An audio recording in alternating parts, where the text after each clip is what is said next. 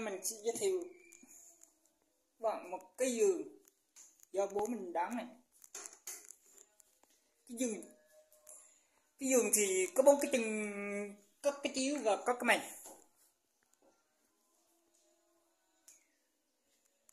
à, cái giường do bố mình đóng rất đẹp.